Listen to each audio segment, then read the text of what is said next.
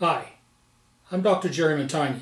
In this segment, I want to take a couple minutes and talk about how we've used the Warp 10 and the Warp 75 in our office. The Warp systems are the devices made by Quantum Devices Incorporated in Wisconsin.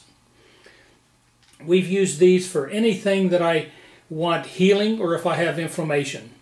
If I have tight muscles, whether it's the neck, back, or, or anything along that line, we'll use it to be able to uh, relax those muscles, especially as a chiropractor, to be able to relax the muscles sometimes before I adjust. Other times, anytime I have healing, if we have a diabetic ulcer that's opened up, we'll put it on there because it improves the circulation or brings the circulation to the skin so you'll get the uh, healing that'll happen.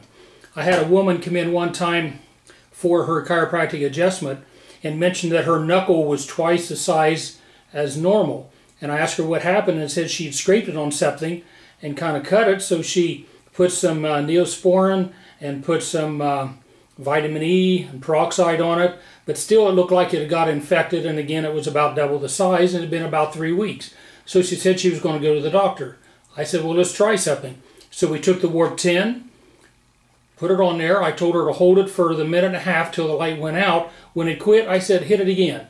So we put three minutes worth of light on there. She came back two days later for her chiropractic adjustment and the knuckle was down uh, to about a fourth larger than what it should be.